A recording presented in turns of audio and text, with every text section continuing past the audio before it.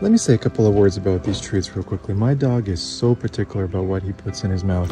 These are probably the only treats that motivate him to come to me, to do all kinds of tricks, and he does not get tired of them one bit.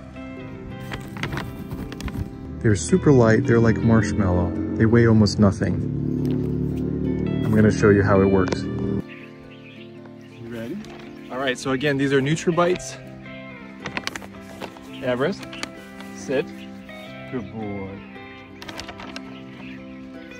Just like marshmallows, super light, kind of tasty, kind of tempting to try. Lay down. Good. Everest, you ready? Speak. Louder. He's obsessed. He cannot get enough of these. Everest, you ready? Sit. Give me paw. Give me other paw. Here you go, buddy. Go ahead and get yourself some Dog Tasty NutriBites.